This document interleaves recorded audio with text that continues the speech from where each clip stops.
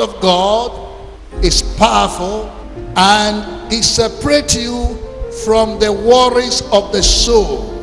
Do you know that the battling of our life is always where? In the soul.